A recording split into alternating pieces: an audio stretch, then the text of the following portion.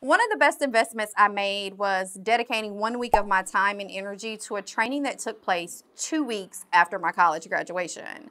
So, after graduation, I was invited to attend a week long media sales training that was hosted by all the big media companies at the time.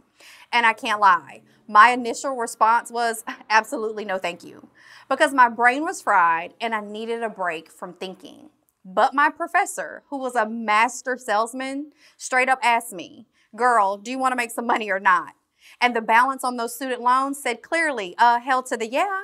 So I went to the training, and long story short, I received numerous job offers after my pitch session.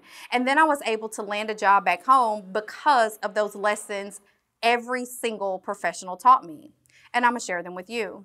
So listen up. Number one, nobody cares about your ideas. Yep, so leave that beautifully curated pitch deck at the office. It makes you look self-centered as well as desperate. Number two, I need you to shut up and I need you to listen. People will tell you exactly what they need. Your job is to create the solution. Lastly, I want you to ask questions that deep dive into the organization's goals as well as their objectives. To this day, the return I get from dedicating that one week of time to this very particular training still makes me the majority of my money.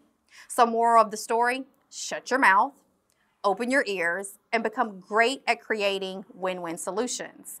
And if you are ready to elevate your life and business, then click the link in my bio and access my Back to Basics training.